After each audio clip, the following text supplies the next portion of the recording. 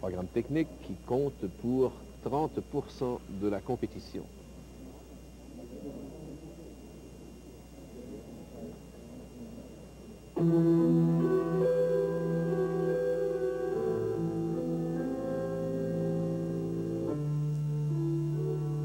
Alors on voit ici un style tout à fait différent, beaucoup plus mature. Elle a l'air d'ailleurs euh, plus âgée que... C'est 18 ans. Oui. Et c'est une question de choix. Donc un patinage un peu plus classique, avec un double axel, bonne hauteur, légère flexion du genou à l'atterrissage sur le pied traceur. Pirouette cambrée. Il manquait un peu de vigueur,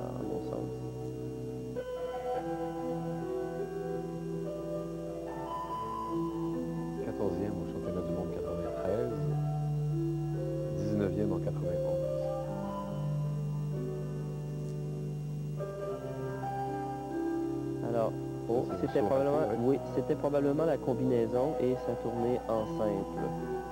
Il est au moins 4 dixièmes de point en, réduction aussi.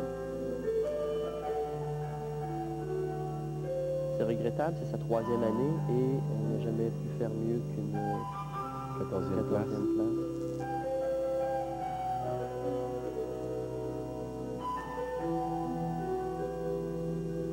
Alors ça explique que chez certains patineurs, la présence est très belle, mais le contenu euh, technique ne suit pas avec euh, l'ensemble de la performance. Alors, double lot, bonne amplitude.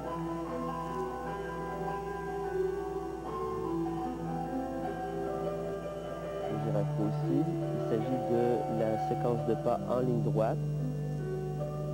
Qu'elle aurait pu se reprendre et, vous exécuter un triple lox, là? Non, on n'a pas le droit. Oui, elle aurait pu, euh, comme deuxième élément, là. Oui, mais elle n'aurait pas pu reprendre un élément déjà Manqué, comme sa ça. combinaison du début. C'est ça, elle aurait été pénalisée à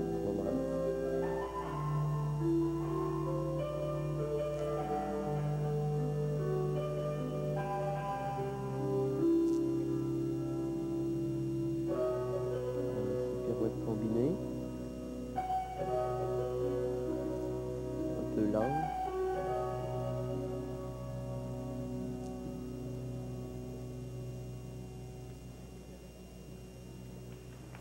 Susanna Sved de la Pologne, Varsovie, elle, euh, avec cette performance, terminera au 15e rang du programme technique de ces championnats mondiaux juniors de Budapest.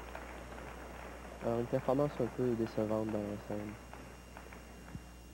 Voilà, à nouveau. Alors, oui, on revoit ici le double lot qui a été exécuté. Bon envol, bon atterrissage, mais un saut quand même assez.